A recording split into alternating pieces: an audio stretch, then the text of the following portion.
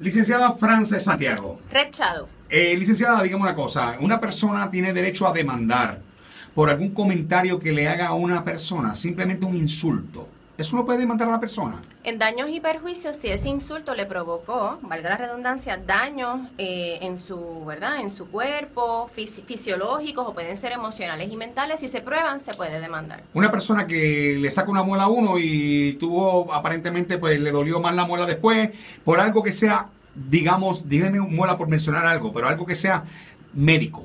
Impericia médica, claro que sí, los médicos responden con su licencia y responden en daños y perjuicios antes de un procedimiento, durante y después. Aunque uno haya firmado un papel. Aunque tú hayas firmado un papel, porque hay una cosa es una expectativa razonable de un resultado médico y otra cosa es que tú no hayas sido orientado debidamente y firmaste el papel sin haber sido orientado ni de las consecuencias que tú te estabas sometiendo. ¿Cuánto tiempo puede pasar para que uno pueda tomar alguna acción contra esa En persona? daños y perjuicios, un año desde que conoces el daño y quién te lo provocó.